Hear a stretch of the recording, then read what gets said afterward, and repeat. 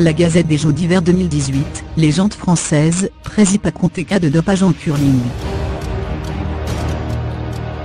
Martin Fourcade a volé la vedette aux cinq autres médaillés français de ce dimanche.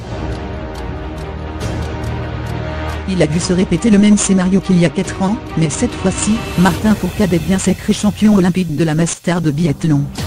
Le Français s'impose d'un cheveu devant l'Allemand Simon Champ pour aller remporter son quatrième titre olympique, le deuxième à Pyeongchang, et devenir le Français le plus sacré au jeu à égalité avec les escrimeurs Christian Doriola et Lucien Boudin.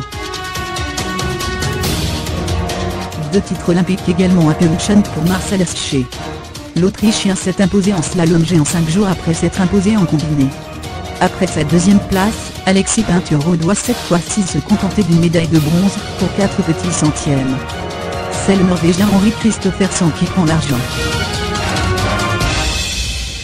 Autre médaille de bronze pour les Français en relais 4 x 10 km masculin. Jean-Marc Gaillard, Maurice Magnifica, Clément Paris, Adrien Bachet prennent la troisième place, derrière la Norvège, et la Russie, soit le même ordre qu'à Sochi, avant que la Russie ne soit déclassée. Attendue par son pays, la sud-coréenne Lee HWA, double tenante du titre, a finalement été battue en finale du 500 mètres en patinage de vitesse. C'est la japonaise Naoko Dera, qui remporte le titre olympique. Enfin, en ski acrobatique, en saut, l'Ukrainien Alexandre Abramonko s'est imposé, tandis qu'en slopestyle, c'est le Norvégien Westin Bratan, qui a finalement remporté l'or. Les deux Français en lice dans cette épreuve, Antoine Adlis et Benoît Burati, ont été éliminés dès les qualifications. C'est au programme. 16 ans après Marina Anissina et Gandalf Ezra à Salt Lake City, le patinage sur glace français, rêvait d'une nouvelle médaille. Gabriela Papadakis et Guillaume Cizeron débute la compétition ce lundi à partir de 2h du matin, heure française, avec le programme court de danse sur glace, avant le programme libre mardi.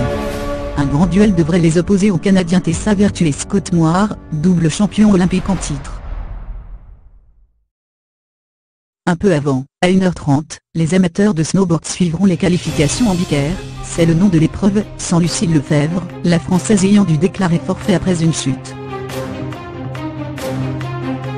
En ski acrobatique, l'épreuve d'Elfpip Dam verra les Françaises Anaïs Caradeux et Marie Martineau essayer de décrocher une place en finale, 2 heures. Enfin, en boba 2, Dorian Auterville et Romain Rich essaieront de faire leur retard lors des 3e et 4 manches. Ils occupent actuellement la 17e place. Pour les femmes de hockey, les deux demi-finales féminines entre les États-Unis et la Finlande et le Canada et la Russie seront à suivre à 5h10 et 13h10. Pour ceux qui préfèrent le patinage de vitesse, la finale homme du 500 mètres messieurs, débutera à midi 53 précisément.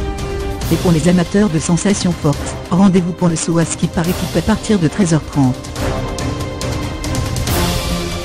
C'est dit.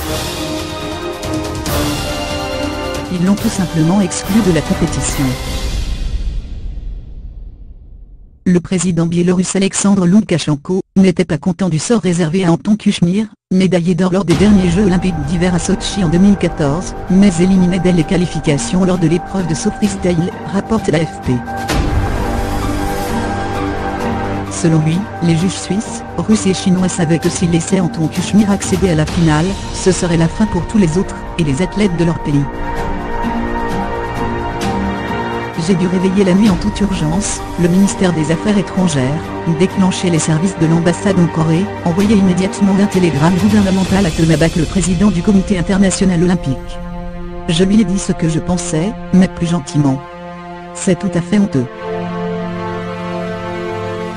Alexandre Loukachenko dirige depuis 1994 la Biélorussie d'une poignée autoritaire.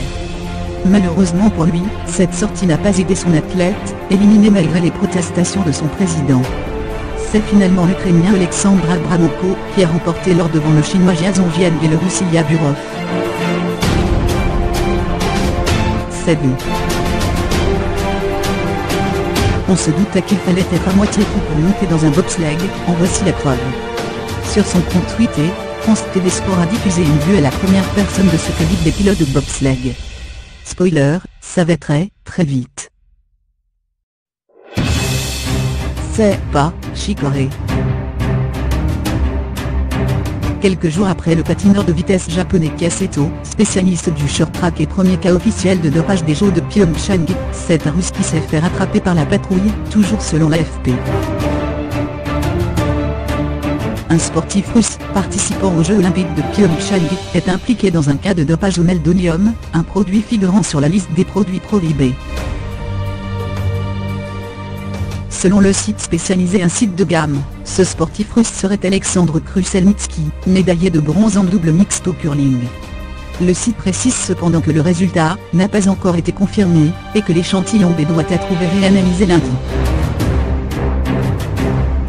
Kruselnitsky a indiqué à des officiels russes qu'il craint que quelqu'un a mis du meldonium dans son verre à son camp d'entraînement, au Japon, avant qu'il n'arrive en Corée du Sud.